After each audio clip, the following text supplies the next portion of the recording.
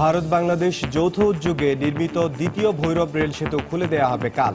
উদ্বোধন করবেন দুই দেশের প্রধানমন্ত্রী খুশি এলাকাবাসী। আমরা ভৈরববাসী এবং আশাগঞ্জবাসী মালামাল আনাতে আমরা খুব উপকৃত হব। আগে একটা ট্রেনের জন্য একটা ট্রেন দাঁড়াইতে হইতো এখন দাঁড়াইতে হবে না একটা যাবে একটা আসবে। আমাদের যাত্রী সেবার মান বাড়বে আমরা খুব অত্যন্ত আনন্দিত। পূর্বাঞ্চলের ব্যবসা বাণিজ্য প্রসারের সম্ভাবনা। অন্য পরিবহনও সুযোগ সুবিধা বাড়বে। দেশের অর্থনৈতিক উন্নয়নে অনেক ভূমিকা রাখবে। জনগণ সহজে অতি তাড়াতাড়ি আসা যাওয়া করতে পারবে। দেখছিলেন বিশেষ শিরোনাম। দুপুরের সময় সঙ্গে আছি আমি সঞ্জনা চৌধুরী। এবং আমি ইমদাদুল হক। এবার অন্যান্য শীর্ষ সংবাদ। কক্সবাজারে আশ্রয় শিবিরগুলোতে এনজিও কর্মী পরিচয়ে রোহিঙ্গাদের প্ররোচিত করার অভিযোগ। চলছে অস্ত্র ও মাদক পরিবহন সহ নির্দিষ্ট সংগঠনের ভেড়ানোর অপচেষ্টা। নর্থ সাউথ বিশ্ববিদ্যালয়ের শিক্ষক মোবাশ্বের হাসান সিজার নিখোঁজ। হিলগাঁও থানায় পরিবারের জিডি। নির্বাচনী অপরাধের সাজার মেয়াদ এবং জরিমানার পরিমাণ বাড়াচ্ছে কমিশন। সংযুক্ত হচ্ছে অনলাইনে মনোনয়নপত্র দাখিলের বিধানও। বর্জ্যের চাপে এক বছরেই ভেঙে পড়েছে চামড়া শিল্প নগরীর ডাম্পিং ইয়ার্ডের দেয়াল, ঝুঁকিতে ধলেশ্বরী, ক্ষুব্ধ পরিবেশবিদরা। এবং আবহাওয়া পরিবর্তনে শ্বাসজনিত রোগে আক্রান্ত হচ্ছে শিশুরা। চট্টগ্রাম মেডিকেলে স্বাভাবিক সময়ের চেয়ে কয়েক গুণ বেশি রোগী।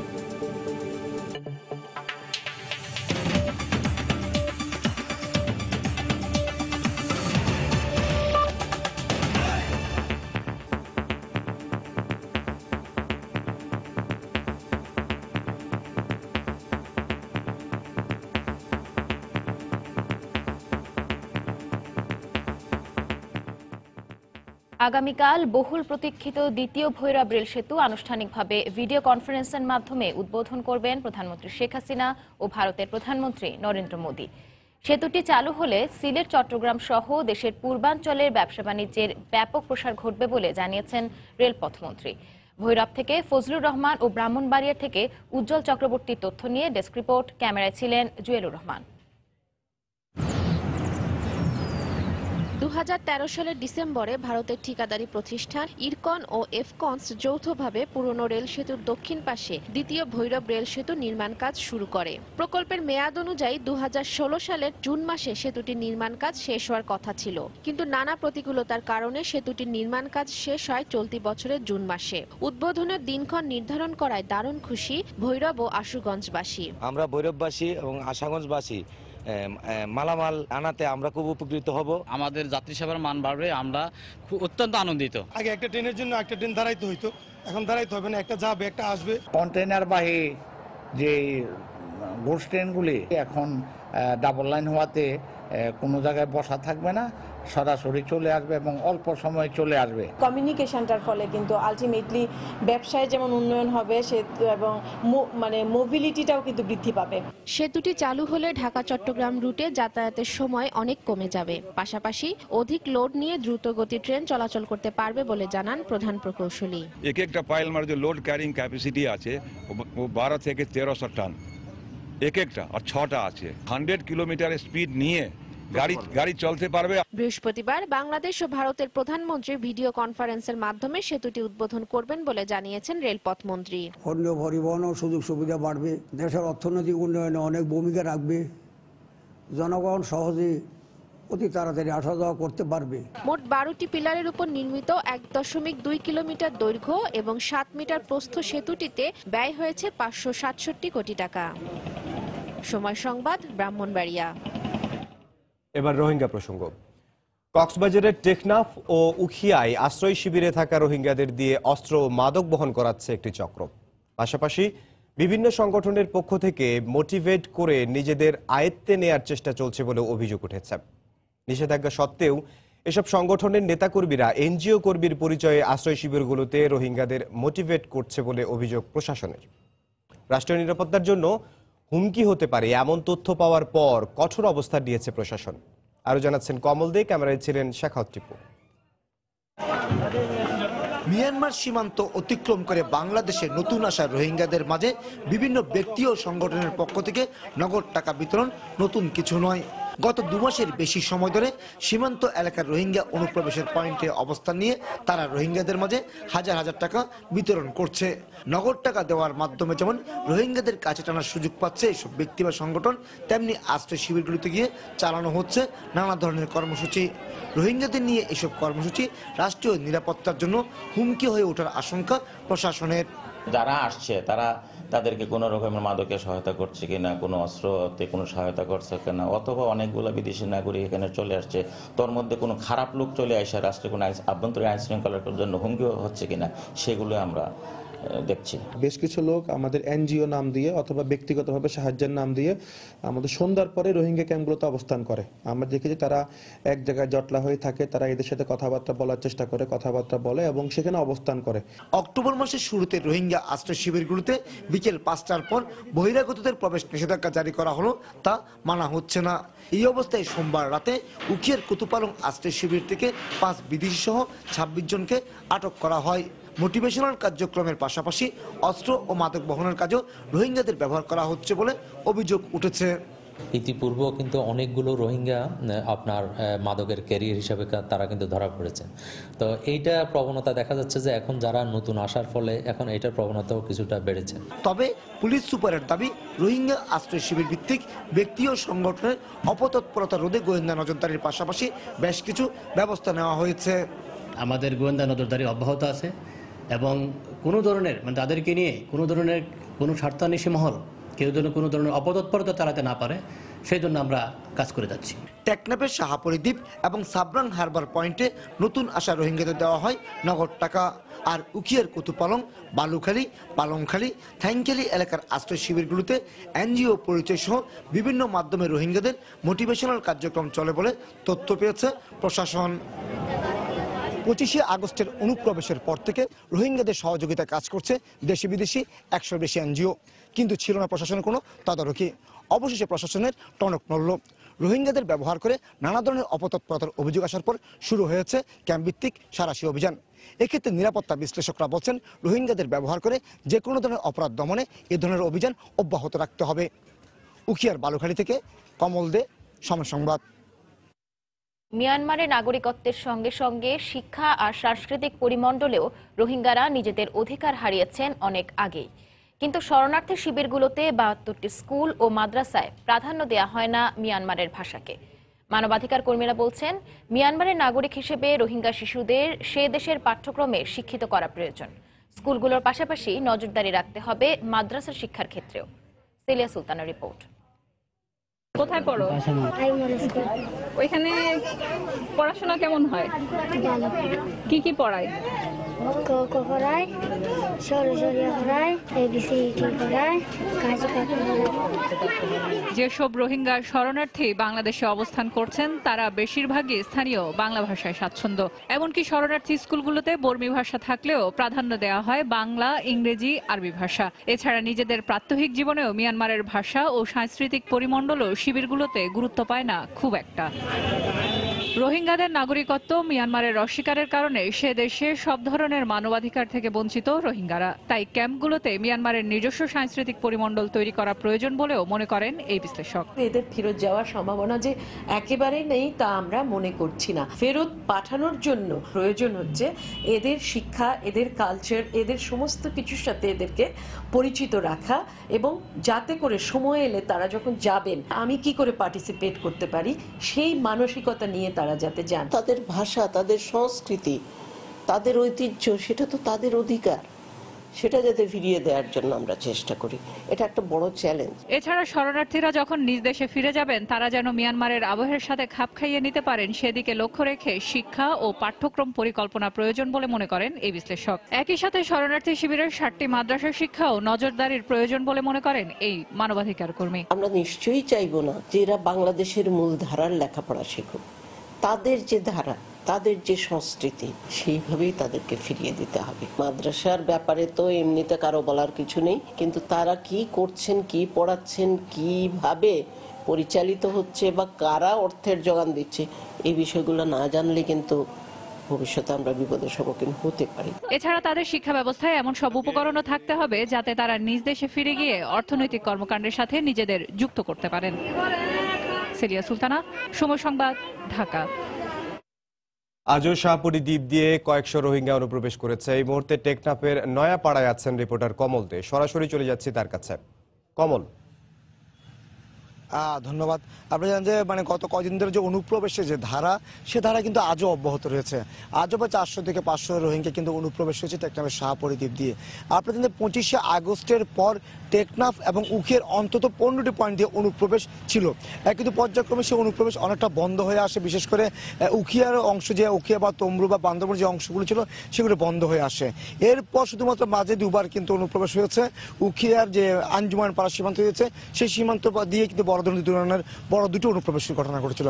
তবে এখন মধ্যে অনুপ্রবেশ যেটা অব্যাহত রয়েছে সেটি হচ্ছে টেকটাপের শাহপরিদ্বীপ এলাকা দিয়ে মূলত এখন অনুপ্রবেশটি চলছে। এক্ষেত্রে প্রতিদিন তিনশো থেকে চারশো সর্বোচ্চ পর্যন্ত, দেড় হাজার পর্যন্ত অনুপ্রবেশ হয়েছে এমনই জানিয়েছে আমাদেরকে প্রশাসনের কর্মকর্তারা। তারা বলছেন যে যেহেতু মিয়ানমার যে নাইটং দিয়া কিংবা ধনখালি দুটি চর রয়েছে, সে দুটি চর কিন্তু টেকনাফতে খুব কাছাকাছি। এবং সে কারণে তারা নৌকা দিয়ে, বঙ্গোপসাগর পাড়ে দিয়ে শাহপরিদ্বীপ চলে আসছে। সেই শাহপরিদ্বীপ থেকে তারা চলে আসছে বাংলাদেশের যে সাবরাং এলাকায়। সেই সাবরাং আসার পর তারা কিন্তু সেখানে ত্রাণ সহায়তা, চিকিৎসা সহায়তা, দুটো সহায়তা পাচ্ছেন।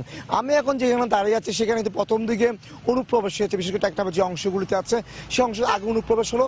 এখন এই অংশগুলি কিন্তু বিজিবির নজরদারির কারণে কিন্তু সেই অনুপ্রবেশগুলো বন্ধ আছে। জীবনখালী বল কিংবা দমদমিয়া বা যেসব পয়েন্ট সেসব পয়েন্টে কিন্তু অনুপ্রবেশ পুরোপুরি বন্ধ। শুধুমাত্র এখন টেকনাফ শাহপরিদ্বীপ দিয়ে কিছু কিছু অনুপ্রবেশ করছে। তবে মাঝে মাঝে এর মাঝে বিরতি দিয়ে আমরা দেখেছি উখের আঞ্জুমান পাড়া সীমান্ত দিয়ে কিন্তু বড় দুটো অনুপ্রবেশের ঘটনা ঘটেছে পনেরো থেকে বিশ দিনের ব্যবধানে।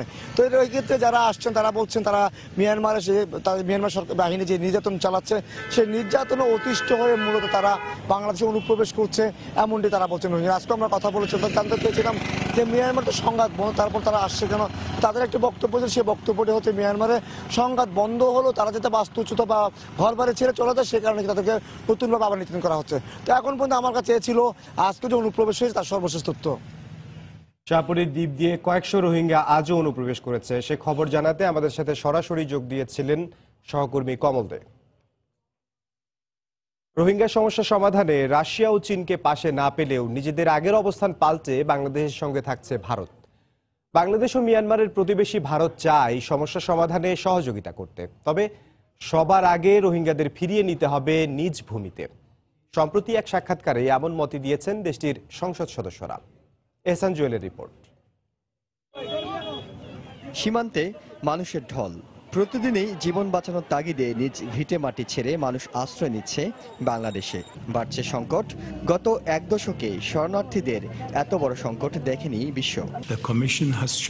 সমাধানে প্রকাশ্য অপ্রকাশ্যে চলছে কূটনৈতিক তৎপরতা। জাতিসংঘ থেকে শুরু করে আঞ্চলিক পর্যায়ে সবখানে চলছে কথা চালাচালি। নিরাপত্তা পরিষদে এখন পর্যন্ত মিয়ানমারের বিপক্ষে আনা বেশ কয়েকটি প্রস্তাবনা আটকে গেছে চীন ও রাশিয়ার শক্তিশালী পক্ষপাতিত্বের কারণে। এ অঞ্চলের প্রভাবশালী দেশ ভারত শুরুতে মিয়ানমারের সন্ত্রাসবাদ দমনের দাবিকে সমর্থন দিলেও পরে সরে এসেছে সে অবস্থান থেকে। বাংলাদেশের পাশে থেকেই সমাধানের উপায় খুঁজতে আগ্রহী দেশটি। Bangladesh suffers something, প্রতিবেশী দুই দেশ শান্তিতে থাকলে আমরাও ভালো থাকি। রোহিঙ্গাদের নিয়ে শুধু সহানুভূতি জানিয়ে লাভ নেই। এ বিষয়ে আমাদের নিজেদেরও কিছু পরিকল্পনা রয়েছে। নিজ ভূমি থেকে কাউকেই উৎখাত করা যাবে না। তাদের ফিরিয়ে নিতে হবে। তাই এ ব্যাপারে বাংলাদেশের বক্তব্যের সঙ্গে আমরা একমত। আমরা রাখাইন রাজ্যের অবকাঠামো উন্নয়নে মিয়ানমারকে সহযোগিতা করতে চাই। সেখানকার পরিস্থিতির উন্নতি হলে রোহিঙ্গারা নিজ দেশে ফিরে যাবে।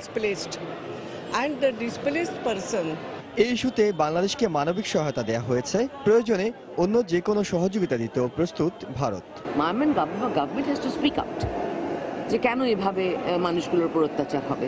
এবং যে কোনো রকমভাবে সাহায্য মায়ানমারকেও করতে রাজি আছে ভারত সরকার। বাংলাদেশে তো পাশে আছেই। মায়ানমারকেও করতে বলেছে বলেছে যে তোমরাও যদি কিছু সাহায্য চায়, বলো। কিন্তু মানুষগুলোকে ফেরত নাও। এভাবে মানুষের অত্যাচার সহ্য করা যাবে না। তবে মিয়ানমারের বিষয়ে কৌশলী ভারত বলছে, সেখানে সন্ত্রাসবাদের কোনো অভিযোগ থাকলে তা সমাধানের দায়িত্ব নিতে হবে দেশটিকে। বাংলাদেশের পাশাপাশি মিয়ানমারকেও গুরুত্বপূর্ণ প্রতিবেশী হিসেবে ভারতে বিবেচনা করে বলে জানান দেশটির লোকসভার স্পিকার। হিসান জুয়েল সমসংবাদ, ঢাকা। দর্শক, রাষ্ট্রীয় অতিথি ভবন পদ্মায় মিয়ানমারের প্রতিবেশী রাষ্ট্র ভারত, চীন, থাইল্যান্ড ও লাওসের রাষ্ট্রদূতদের সঙ্গে বৈঠক করছেন পররাষ্ট্রমন্ত্রী আবুল হাসান মাহমুদ আলী। এই মুহূর্তে সেখানে আছেন আমাদের রিপোর্টার মিজানুর রহমান খবির। বৈঠকের সবশেষ খবর জানতে আমরা এখন সরাসরি চলে যাচ্ছি সেখানে। কবির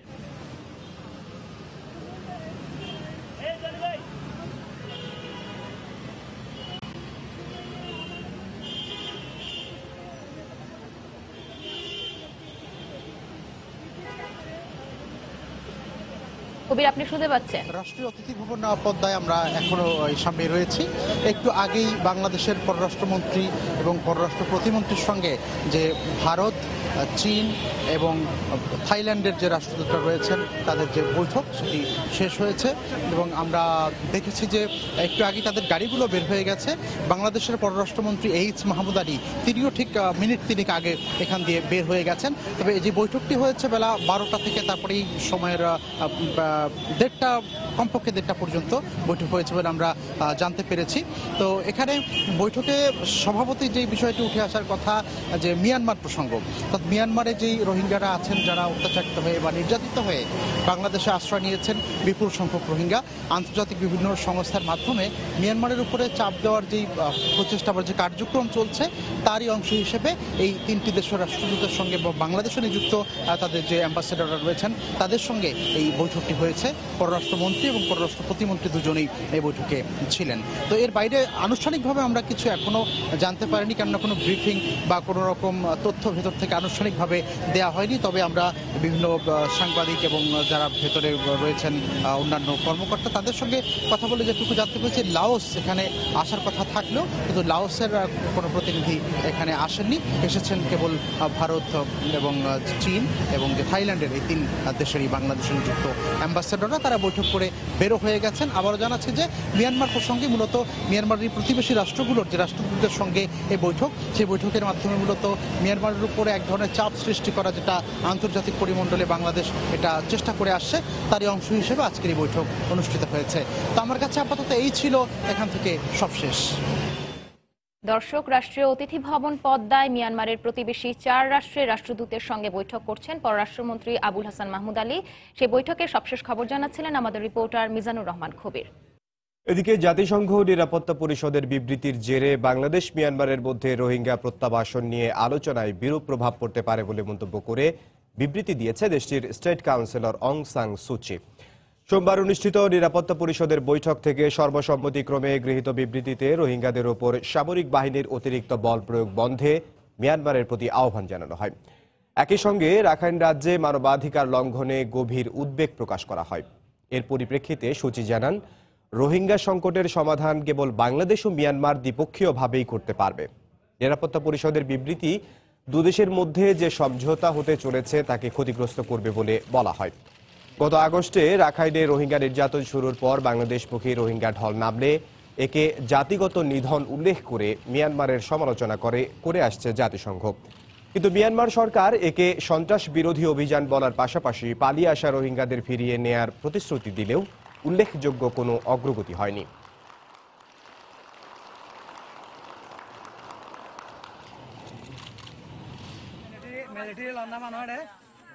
দুপুরের সময় আরও থাকছে। আনুষ্ঠানিকভাবে যাত্রা করল খুলনায় নবনির্মিত দুইটি যুদ্ধ জাহাজ ও দুইটি টক বোট নৌবাহিনীকে ত্রিমাত্রিক বাহিনীতে পরিণত করা হবে, বললেন রাষ্ট্রপতি।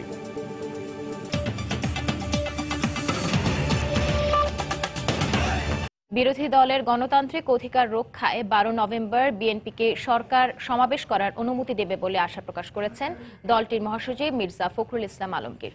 দুপুরে নয়াপল্টনে দলের কেন্দ্রীয় কার্যালয়ে সংবাদ সম্মেলনে এ কথা বলেন তিনি।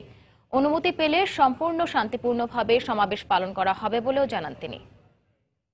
আমরা আশা করব যে আমাদের বারো তারিখের এই সমাবেশের অনুমতি যথাসময়ে দেওয়া হবে এবং সরকার এই বিষয়ে আমাদের গণতান্ত্রিক যে অধিকার, সেই অধিকারকে প্রয়োগ করবার ক্ষেত্রে আমরা সেই সহযোগিতা পাব। এই সমাবেশে প্রধান অতিথি থাকবেন দেশের নেত্রী বেগম খালেদা জিয়া।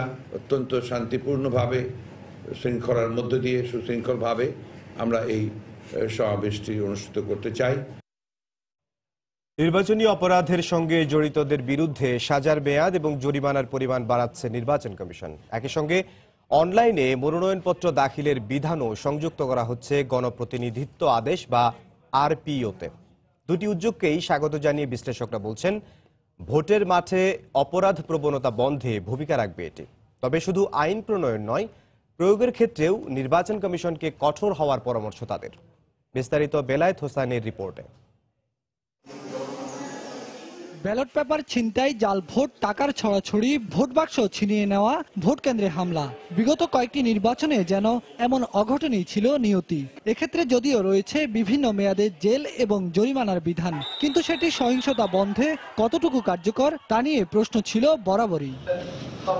তিন মাস ধরে চলা সংলাপে রাজনৈতিক দলসহ বিভিন্ন স্টেক হোল্ডারের পক্ষ থেকে নির্বাচনী অপরাধ বন্ধে দেওয়া হয় বেশ কিছু প্রস্তাবনা। এরই মধ্যে কয়েকটি বিবেচনায়ও নিয়েছে নির্বাচন কমিশন।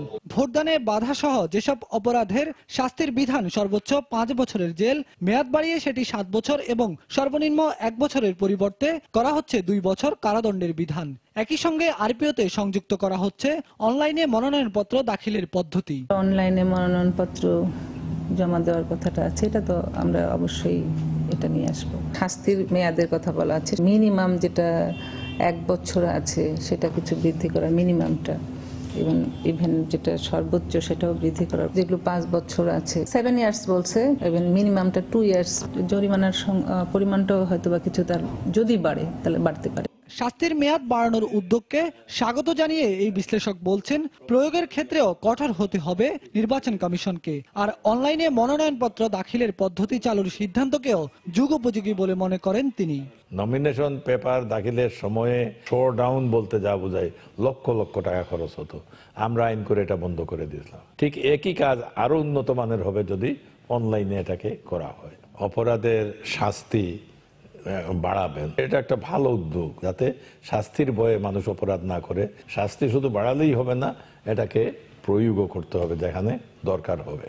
আরপিওতে আরও কয়েকটি বিষয় সংযুক্ত করা নিয়েও পর্যালোচনা করছে নির্বাচন কমিশন। ডিসেম্বরের মধ্যে প্রস্তুত করা হবে খসড়া আর আগামী বছরের ফেব্রুয়ারির মধ্যে গ্রহণ করা হবে আইন প্রণয়নের উদ্যোগ। বেলায়েত হোসাইন, সময় সংবাদ, ঢাকা। নর্থ সাউথ বিশ্ববিদ্যালয়ের সামাজিক বিজ্ঞান অনুষদের সহকারী অধ্যাপক মুবাশ্বের হাসান সিজার নিখোঁজ জানিয়ে খিলগাঁও থানায় সাধারণ ডায়েরি করেছেন তার বাবা। পরিবারের সদস্যরা জানান, গত পঁচিশ অক্টোবর ছাত্র পরিচয় দিয়ে সিজারকে খুঁজতে তার বাসায় যান একজন। তখন সিজার বাসায় ছিলেন না। এরপরই নিরাপত্তা নিয়ে চিন্তিত হয়ে বাসায় সিসি ক্যামেরা স্থাপন করেন তিনি।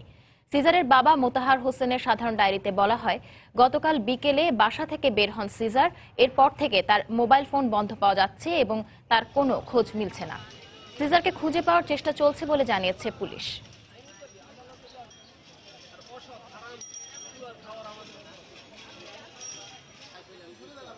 আনুষ্ঠানিকভাবে যাত্রা শুরু হলো নৌবাহিনী নির্মিত দুটি যুদ্ধ জাহাজের দুপুরে খুলনার খালিশপুরের তিতুমির নেভাল জেটিতে রাষ্ট্রপতি মোহাম্মদ আব্দুল হামিদ নবনির্মিত জাহাজ দুটির কমিশনিং করেন।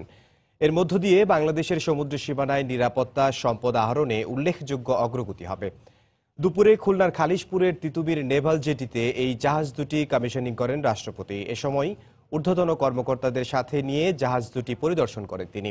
চীনের কারিগরি সহায়তায় বানৌজা দুর্গম ও বানৌজা নিশান নামে আন্তর্জাতিক মানের যুদ্ধ জাহাজ দুটি নির্মাণ করে খুলনা শিপইয়ার্ড।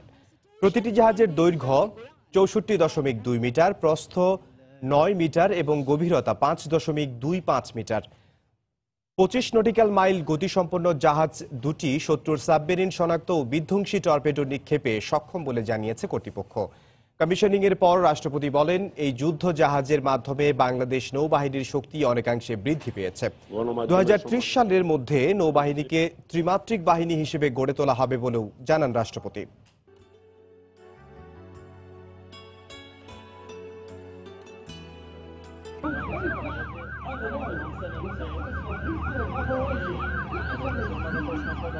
পাক হানাদার বাহিনীর যুদ্ধ সরঞ্জাম বোঝাই অসংখ্য দেশে নির্মিত সর্ববৃহৎ যুদ্ধজাহাজ ও সাবমেরিন ট্রাক নৌবাহিনীতে সংযোজনের ফলে এই বাহিনী আরও এক ধাপ এগিয়ে গেল।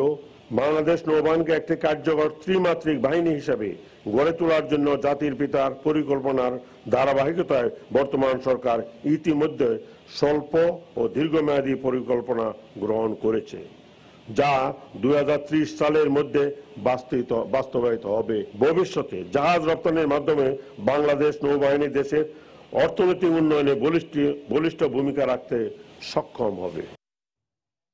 বিধিনিষেধ থাকা সত্ত্বেও ইচ্ছামতো তোলা হচ্ছে পাথর। নদীর পাড় বাড়ির উঠোন কিছুই রক্ষা পাচ্ছে না। এতে পরিবেশ বিপর্যয়ের পাশাপাশি জীবনহানির ঘটনা ঘটছে। প্রশাসন বলছে, শক্ত হাতে দমন করার চেষ্টা করেও পারা যাচ্ছে না। নওশাদ আহমেদ চৌধুরী তোলা ছবিতে বিস্তারিত জানাচ্ছেন ইকরামুল কবির। কানাইঘাট থেকে নদীপথে লোবাছড়া পাথর কোয়ারির দূরত্ব বারো কিলোমিটারের মতো। প্রথমে সুরমা, তারপর লোবাছড়া নদী। ভারত থেকে নেমে আসা প্রকৃতির অপার সৌন্দর্যের সব উপকরণের সঙ্গে পাথরও নেমে আসছে নদীতে। পরিবেশের ভারসাম্য রক্ষায় সরকার এই কোয়ারি থেকে পাথর উত্তোলন নিষিদ্ধ করেছে। সুযোগ না পেয়ে লোকজন অবৈধভাবে উত্তোলন করছে পাথর। এখন তো উজান বন্ধ হওয়ার কারণে তো আমাদের এলাকার গরিব মানুষ। এখন তো ওদিকে মরাপত্র নিয়ে বিক্রি করে। কোয়ারিটা কাজটা মানে শুরু হোক। হইলে দরিদ্র মানুষ যারা আছে অভাবী মানুষ যারা আছে এরা আর এখানে আর খাস করতো না। ঝুঁকি নিয়ে পাথর উত্তোলনকালে প্রায়ই ঘটে দুর্ঘটনা। তেমনি মঙ্গলবার পাথর উত্তোলন করতে গিয়ে পাথর চাপায় চার শিশু সহ ছয়জন নিহত হয়। এখানে খাস জমি আছে। সেখানে তারা নিজেদের নিজেদের বাড়িঘরের পাশে গর্ত করেও কিন্তু পাথর উত্তোলনের কাজে লেগে যাচ্ছে। বিকজ তাদের অন্য কোনো উপার্জনের কোনো ওয়ে নাই তারা যেটা বলতেছে। তো আমরা সেটাকে তাদেরকে কাউন্সিলিং করে বলতেছি যে আমরা এটা যে এটা ক্ষতিকর জিনিস এটা বেআইনি। অবৈধভাবে পাথর উত্তোলন না করার জন্য স্থানীয় প্রশাসন থেকে প্রায়ই সতর্ক করা হয়। অভিযানও চলে মাঝে মাঝে। আমাদের তো অবশ্যই বিষয়গুলো নজরদারিতে আছে। আমরা গত সপ্তাহে আমাদের যে এসিলেন্ট আছেন উনি মোবাইল কোড করে গেছেন। আমাদের নিয়মিত মোবাইল কোড হয়। মাঝে মধ্যে তারা উত্তোলন করার চেষ্টা করে। আমরা জেলা প্রশাসন থেকেও ম্যাজিস্ট্রেট পাঠিয়ে এখানে মোবাইল কোড করে এগুলো উত্তোলন বন্ধ করার জন্য আমরা পদক্ষেপ নিয়ে থাকি। অবৈধভাবে পাথর উত্তোলনকালে শাহ আরফিন টিলা বিসনাকান্দি জাফলং সহ বিভিন্ন পাথর কোয়ারিতে অন্তত ২০ জন পাথর চাপায় নিহত হয়েছে। লোবাছড়ার দুপার থেকে এভাবে অবৈধভাবে পাথর উত্তোলনের ফলে একদিকে ধ্বংস হচ্ছে নদীর দুপার, অন্যদিকে লাশের মিছিল যোগ হচ্ছে নতুন নতুন লাশ। এই অবস্থা থেকে এলাকাবাসী পরিত্রাণ চান। কানাইঘাটের লোবাছড়ার পার থেকে ইকরামুল কবির, সময় সংবাদ। রাজধানী ঢাকা সহ দেশের বিভিন্ন এলাকায় মৃদু ভূমিকম্প অনুভূত হয়েছে। সকাল দশটা পঞ্চাশ মিনিটের দিকে এ ভূকম্পন অনুভূত হয়। আবহাওয়া অফিস জানিয়েছে রিক্টার স্কেলে চার দশমিক সাত মাত্রার এ ভূমিকম্পের কেন্দ্রস্থল ছিল ভারতের ত্রিপুরা রাজ্যে। ঢাকা থেকে কেন্দ্রস্থলের দূরত্ব পঁচাত্তর কিলোমিটার। কেন্দ্র থেকে দূরে থাকায় ঢাকায় কম্পনের মাত্রা ছিল কম। যারা কম্পন অনুভব করেছেন, তাদের অনেকেই ভবন ছেড়ে রাস্তায় ভিড় করেন। তবে কম্পন টের পাননি এমন মানুষের সংখ্যাও কম নয়।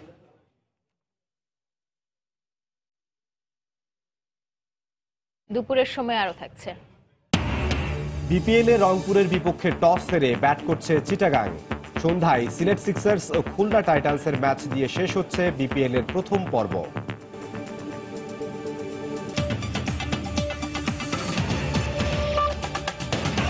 বর্জ্যের চাপে আগেই ভেঙে গেছে চামড়া শিল্পনগরীর ডাম্পিং ইয়ার্ডের দেয়াল। এবার প্রকাশ্যেই ট্যানারির দূষিত পানি ধলেশ্বরীতে ফেলছে বিসিক। এতে প্রকল্পের আশেপাশের জনপদের সঙ্গে মারাত্মক ঝুঁকির মুখে পড়েছে নদীর স্বাভাবিক প্রবাহ। এরপরও এসব অনিয়মকে পাশ কাটিয়ে পুরনো তথ্যের ভিত্তিতে তৃতীয় দফায় প্রকল্পের মেয়াদ আরও দুই বছর বাড়ানো হয়েছে। এমন সিদ্ধান্তে নাখোশ পরিবেশবিদরা তাদের দাবি প্রকল্পের মূল উদ্দেশ্য পূরণে ব্যর্থ হয়েছে বিসিক। জুবাইর ফয়সালের রিপোর্ট।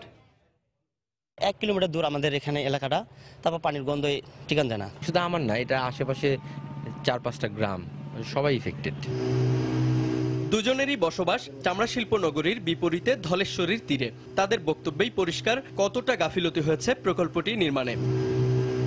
এবার আসা যাক শিল্পনগরীতে নদী তীরে যেতেই চোখে পড়বে বিশাল আকারের দুটি পাইপ। যেখান থেকে বিরামহীন তরল বর্জ্য পড়ছে ধলেশ্বরীতে। বলা হয়েছিল এটি হবে একটি পরিকল্পিত শিল্পনগরী খাওয়ার উপযোগী পানি ছাড়া হবে ধলেশ্বরীতে। কিন্তু কথা আর কাজে মিল রাখতে পারেনি বিসিক। ট্যানারির তরল বর্জ্যের প্রভাবে আগেই শেষ ধলেশ্বরীর জলজ সম্পদ। এখনই দূষণ থামানো না গেলে আর কয়েক বছর পর হয়তো নদীটির ঠাঁই হবে ইতিহাসের পাতায়। একটু এগোতেই দেখা মিলবে প্রকল্পের মূল নকশায় না থাকা অবৈধ ডাম্পিং ইয়ার্ডের। সপ্তাহখানেক আগে যার দেয়াল ভেঙে সব বর্জ্যের ঠাঁই হয়েছে ধলেশ্বরীতেই। যে চিঠিও দেওয়া হয়েছে চাইনিজ এটা মানতেছে না। একবার বলে কুলেন্ট নাই, একবার বলে তেল নাই, একবার বলে হায়ার অথরিটি আমাদের হুকুম দেয় না। এরপরও এসব অনিয়ম আড়াল করে বিসিকের দেয়া পুরনো তথ্যের ভিত্তিতে সুনির্দিষ্ট কর্মপরিকল্পনা ছাড়াই বাড়ানো হয়েছে প্রকল্পটির মেয়াদও। যদিও পরিকল্পনা মন্ত্রীর দাবি বড় প্রকল্প হওয়ায় এর বাস্তবায়ন কঠিন। বিসিকে তো সরকার। বিসিক কি সরকার না? নির্দেশ দিচ্ছি। আইবিডি দেখে আসবে। এরপরে আইবিডি রিপোর্টের ভিত্তিতে বাকি কাজ আমি করব। এখানে প্রতিদিন গেলে পরিবর্তন দেখা যাবে না। এক এক শিল্প কারখানায় এক একটা বৈশিষ্ট্য আছে। এটা সময় দিতে হবে। সম্পূর্ণ চালুর আগেই প্রকল্প এলাকার বর্তমান অবস্থা নিয়ে ক্ষুব্ধ পরিবেশবিদরাও। তাদের দাবি সময় বাড়াতে নয় প্রকল্প দরকার দূষণ কমাতে। পরিকল্পিত শিল্পনগরীর হয়তো কথা কিন্তু হচ্ছে না তো। সঠিকভাবে চালু না করে আপনি চামড়া শিল্পকে বাঁচানোর নামে যে এলাকার মানুষকে ক্ষতিগ্রস্ত করবেন, এটা তো ঠিক না। দূষণ রোধে দু হাজার চোদ্দ সালে শিল্পনগরীতে কেন্দ্রীয় বর্জ্য শোধনাগার তৈরি শুরু করে সরকার। নির্মাণ কাজ শেষ হলেও ত্রুটিপূর্ণ ব্যবস্থাপনার কারণে যার চারটি মডিউল কখনোই একসঙ্গে চালু করতে পারেনি ঠিকাদার প্রতিষ্ঠান জেএলইপিসিএল জুবাইর ফয়সাল, সময় সংবাদ, সাভার। গণপরিবহনে শৃঙ্খলা ফেরাতে পাঁচটি কোম্পানির মাধ্যমে রাজধানীতে চার হাজার বাস নামানো হবে বলে জানিয়েছেন দক্ষিণ সিটি কর্পোরেশনের মেয়র সাইদ খোকন। সকালে রাজধানীর নাজিরা বাজারের তেত্রিশ নম্বর ওয়ার্ডে জনতার মুখোমুখি অনুষ্ঠানে কথা জানান তিনি। অনুষ্ঠানে এলাকার বিভিন্ন সমস্যার কথা তুলে ধরেন এলাকাবাসী। যতই প্রভাবশালী হোক না কেন, রাস্তা বন্ধ করে কোনো অবৈধ কাজ করতে দেয়া হবে না বলে এলাকাবাসীকে আশ্বস্ত করেন সাইদ খোকন। কেউ চাঁদাবাজি করলে তাকে আইন শৃঙ্খলা বাহিনীর হাতে তুলে দেওয়ার আহ্বান জানান তিনি। পাশাপাশি পুরনো ঢাকার পরিবেশ দূষণমুক্ত রাখতে যেখানে সেখানে ময়লা না ফেলে নির্দিষ্ট স্থানে ফেলার আহ্বান জানান সাইদ খোকন। এ সময় পুরনো ঢাকার বাংলাদেশ মাঠ ও সিকাচলি পার্ক সহ দক্ষিণ সিটি কর্পোরেশনের বিভিন্ন পার্ককে আগামী ছয় থেকে আট মাসের মধ্যে আধুনিক করতে নতুন প্রকল্প হাতে নেওয়া হবে বলেও জানান তিনি।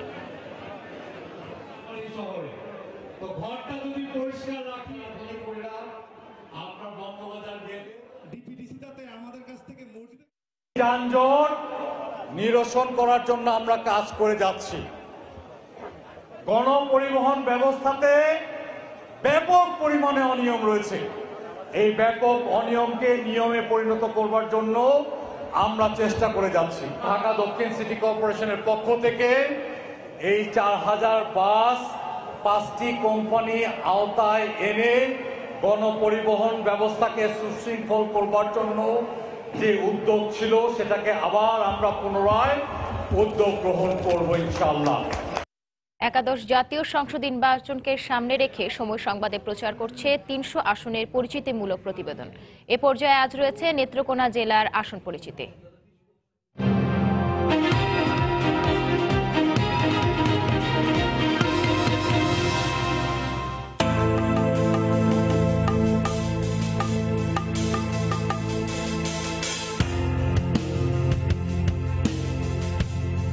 সাদামাটি আর হাওরের জেলা নেত্রকোনা। জেলার দুর্গাপুর উপজেলার বিরিশিরিতে রয়েছে চীনামাটির পাহাড়। ছোট বড় টিলা, পাহাড় ও সমতল ভূমি মিলিয়ে প্রায় সাড়ে পনেরো কিলোমিটার এলাকা জুড়ে বিস্তৃত দেশের অন্যতম এই খনিজ সম্পদ। আবার সাদামাটির বুক চিরে নীল জলের হ্রদ দিয়েছে অপরূপ সৌন্দর্য। জেলায় রয়েছে ছোট বড় বেশ কয়েকটি হাওর। একদিকে নৈসর্গিক সৌন্দর্য আর অন্যদিকে হাওর অঞ্চলের লোকজনের সংগ্রামী জীবন বৈচিত্র্য এনেছে জেলার যাপিত জীবনে। দুই হাজার আটশো দশ বর্গ কিলোমিটারের নেত্রকোনার মোট ভোটার পনেরো লাখ ছাপ্পান্ন হাজার পাঁচশো উননব্বই জন। পুরুষ ভোটার সাত লাখ আশি হাজার ছয়শো চার আর নারী ভোটার সাত লাখ সত্তর হাজার পাঁচশো পঁচিশ জন। দুই হাজার একের নির্বাচনে নেত্রকোনা আর ময়মনসিংহের কিছু অংশ নিয়ে আলাদা একটি আসন থাকলেও নবম সংসদ নির্বাচনের আগে করা সীমানা পুনর্নির্ধারণের সময় তা দুটি জেলায় ভাগ করে দেয়া হয়। পাশাপাশি একটি আসন বাড়ে নেত্রকোনার। উনিশশো একানব্বই নির্বাচনে নেত্রকোনার এক, দুই আর চার আসনে জয় পায় বিএনপি আর তিনে জয় পায় আওয়ামী লীগ। ছিয়ানব্বইতে ঠিক তার উল্টো, অর্থাৎ তিনে বিএনপি আর বাকি সব আওয়ামী লীগের। আর দুই হাজার একের নির্বাচনে এক, তিন আর চার বিএনপি পেলেও দুইয়ে জয় পায় আওয়ামী লীগ। এরপর পাঁচটি আসনের সবশেষ দুটি নির্বাচনেই সবগুলিতেই জয় পায় নৌকা। দুই এর আগে সব নির্বাচনেই এই জেলায় নৌকা আর ধানের শীষের লড়াই হয়েছে সমানে সমান। তাই আসছে নির্বাচনে সব দল অংশ নিলে জেলার ভোটযুদ্ধ জমে উঠবে বলে মনে করেন ভোটাররা।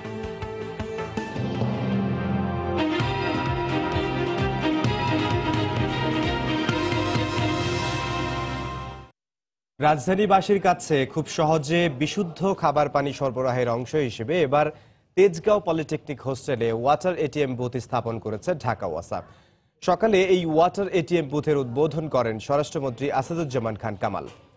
কার্ড পাঞ্চ করে এই এটিএম বুথ থেকে বিশুদ্ধ খাবার পানি সংগ্রহ করতে পারবে নগরবাসী। প্রতি লিটার বিশুদ্ধ পানির জন্য চল্লিশ পয়সা কেটে নেওয়া হবে গ্রাহকদের কার্ড থেকে। এ নিয়ে ঢাকায় ছয়টি ওয়াটার বুথ স্থাপন করেছে ওয়াসা। আগামী ছয় মাসে পর্যায়ক্রমে রাজধানীতে একশোটি ওয়াটার বুথ স্থাপন করবে ঢাকা ওয়াসা।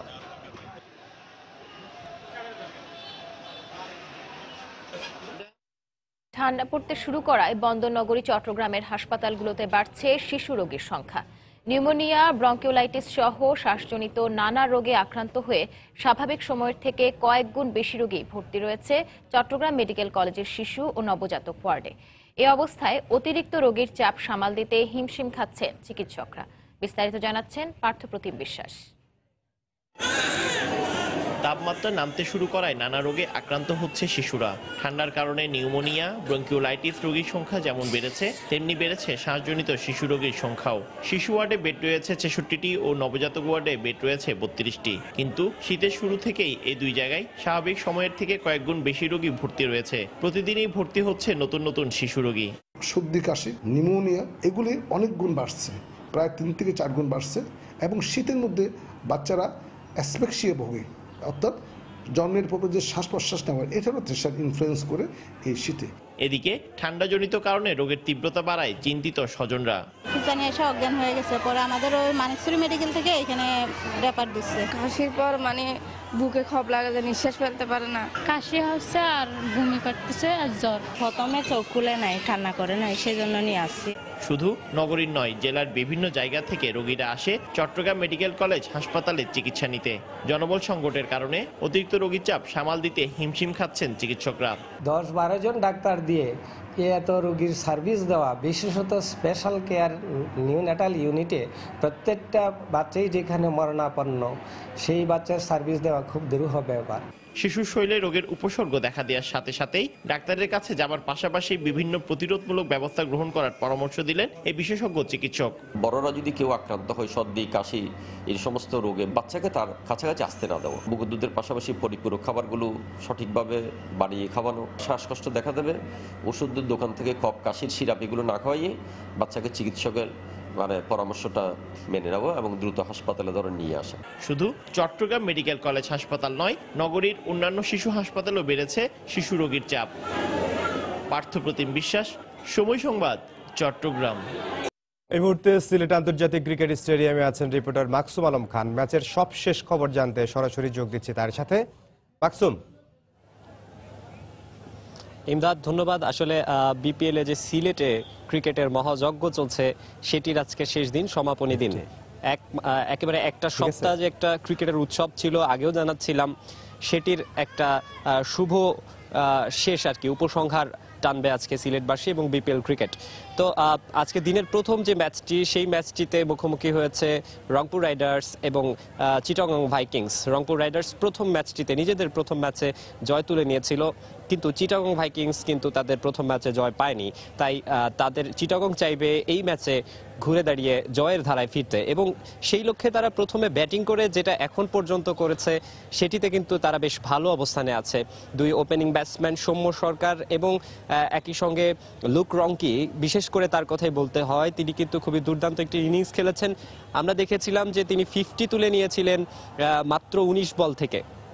মাত্র উনিশ বল থেকে ফিফটি যেটি এই আসরে সবচেয়ে কম বলে ফিফটির রেকর্ড এখন পর্যন্ত, এবং এই উনিশ বলে ফিফটি তিনি করেছেন, মাত্র সময় নিয়েছেন ষোলো মিনিট। অর্থাৎ শুরুতে এই রংপুরের বোলারদের বেশ চেপে ধরেন বেশ আগ্রাসী ঢঙে তিনি খেলতে থাকেন। মাশরাফি বিন মোর্তজা থেকে শুরু করে নাজমুল হাসান, অপু বা যে বোলাররাই ছিলেন, সোহাগ গাজী, সবাইকেই বেশ মারকুটে ঢঙে তিনি মোকাবেলা করেছেন। এবং খুব দ্রুত গতিতে রান তুলছে রংপুর রাইডার্স। তো বলাই যে রান তোলার যে গতি, সেটা যদি অব্যাহত থাকে তাহলে এই এই আসরের তৃতীয়বারের মতো আমরা দেখতে পাবো যে দুইশো পেরোনো কোনো ইনিংস বা দুইশো ছবে, যেটি এর আগে ঢাকা ডাইনামাইটস এবং সিলেট সিক্সার্স কিন্তু গতকালকে করেছে। তো এখন সেটি দেখার বিষয় এইটা তারা অব্যাহত রাখতে পারে কিনা। অন্যদিকে রংপুরের সামনেও কিন্তু সুযোগ আছে। মাশরাফি নেতৃত্বে তারা আছেন। দুর্দান্ত একজন ক্যাপ্টেন বাংলাদেশ দলের সঙ্গে খুবই সফল এবং তিনিও চাইবেন দারুণ স্ট্র্যাটেজিতে ম্যাচটি জিতে নিতে। তো এখন পর্যন্ত দর্শকরা আসছেন, ধীরে ধীরে প্রথম ম্যাচে তেমন কোনো দর্শক হয়নি, খুব একটা। তবে দ্বিতীয় ম্যাচে যেহেতু স্বাগতিকদের খেলা, অনেক দর্শক হবে বলে প্রত্যাশা করা হচ্ছে। এই ছিল আমার কাছে সর্বশেষ এখান থেকে। ইমদাদ। সিলেট আন্তর্জাতিক স্টেডিয়াম থেকে আমাদের সাথে সরাসরি যোগ দিয়েছিলেন সহকর্মী মাকসুম আলম খান। এদিকে দিনের দ্বিতীয় ম্যাচে স্বাগতিক সিলেট সিক্সার্সের প্রতিপক্ষ মাহমুদুল্লাহ রিয়াদের খুলনা টাইটান্স। এই ম্যাচের মধ্য দিয়ে এবারের বিপিএল এ সমাপ্তি ঘটবে সিলেট পর্বের। ম্যাচটি শুরু হবে আজ সন্ধ্যা সাতটায়। নিজেদের হোম ভেনুতে যেন উঠছে সিলেট সিক্সার্স। শতভাগ জয় নিয়ে পয়েন্ট টেবিলে আপাতত শীর্ষে রয়েছে তারা। থারাঙ্গা ফ্লেসার গুনাথিল আকাদের সঙ্গে নাসিরের সময় উপযোগী নেতৃত্ব সিলেটকে দেখাচ্ছে সঠিক পথ। যদিও দলের আইকন ক্রিকেটার সাব্বির এখনও নিজেকে আসরে সেভাবে মেলে ধরতে পারেননি। অন্যদিকে সিলেটের প্রতিপক্ষ খুলনা টাইটান্স অবশ্য সুবিধাজনক অবস্থায় নেই। প্রথম ম্যাচেই ঢাকা ডাইনামাইটসের বিপক্ষে রান পাহাড়ের নিচে চাপা পড়েছিল তারা। ম্যাচটিতে বড় ব্যবধানে হারতে হয়েছিল তাদের। সিলেটের বিপক্ষে এ ম্যাচেও রিয়াদ শফিউলদের দিকে তাকিয়ে থাকবে খুলনার সমর্থকরা।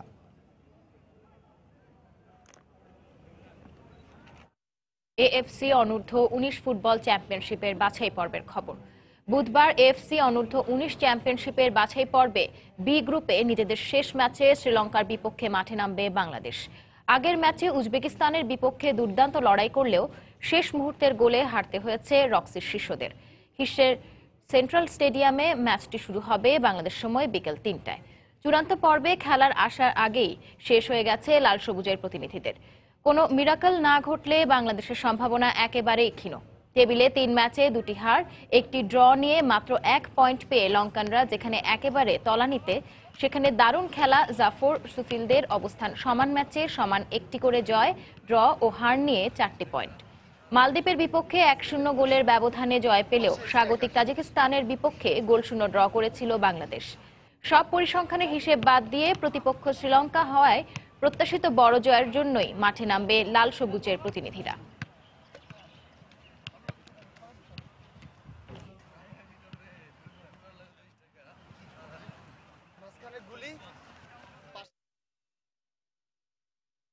দুপুরের সময়ে এ পর্যায়ে শীর্ষ সংবাদ জানিয়ে দিচ্ছি আরেকবার।